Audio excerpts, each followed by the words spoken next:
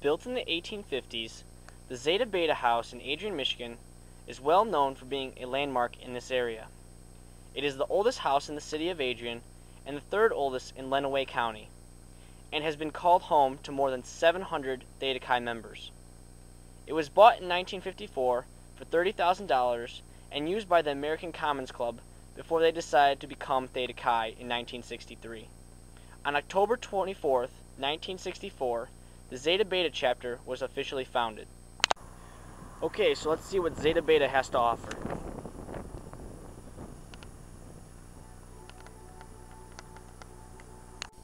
So this is our moose room, which happens to be my favorite part of the house. And this is where we keep our golden toilet, which we won from Greek Week.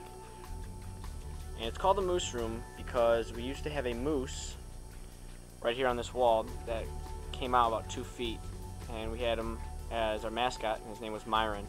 However, he got stolen, but we plan on replacing him.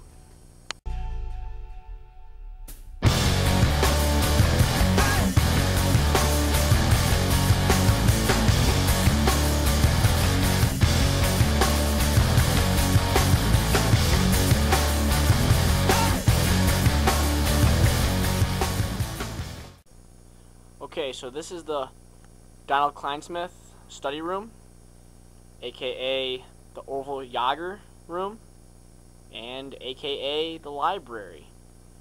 And this is where our brothers come to study and make sure that we are the highest GPA on campus.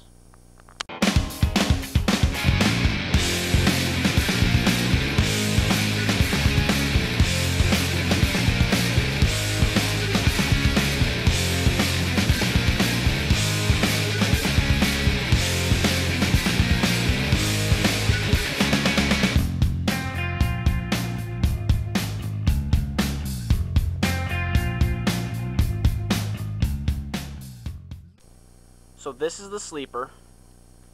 Now it's called the sleeper because back about 20 years ago, this room was just full of bunks and the rest of the house was used for like living rooms.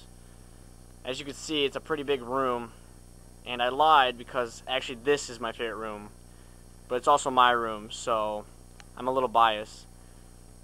But as you can tell, we have three people in here, including myself, and we really enjoy this room a lot. And to be honest, I think it's the best room on campus.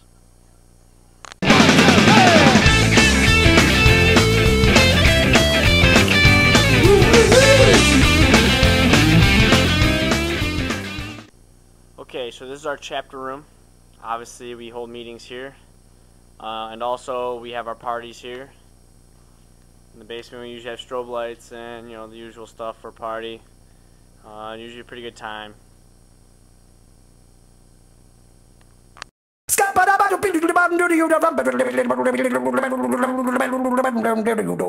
I'm a scat man. So this is our composite room slash the ACC room. And this is our nicest room in the house. So we like to make it look nice with the nice couches. And we put up our composites usually. And also we have an altar board there. We have another one also it's just not in this room.